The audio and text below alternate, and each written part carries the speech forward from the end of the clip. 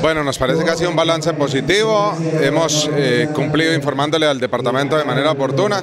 Además, en esta administración la oficina de prensa pudo, pudo lograr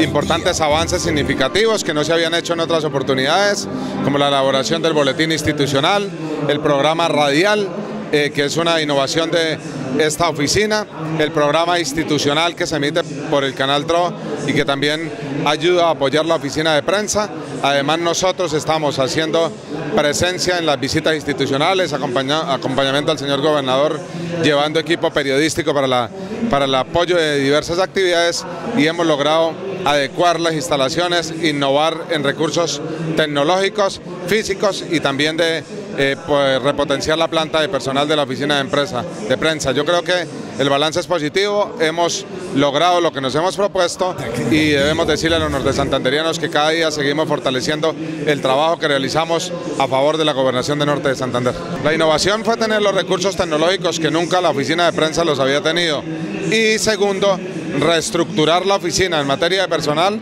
para lograr tener los avances tecnológicos y estar a la vanguardia de las nuevas tecnologías. Yo creo que hemos incursionado en transmisiones en vivo, en redes sociales, llevando la información de manera oportuna a todo el departamento.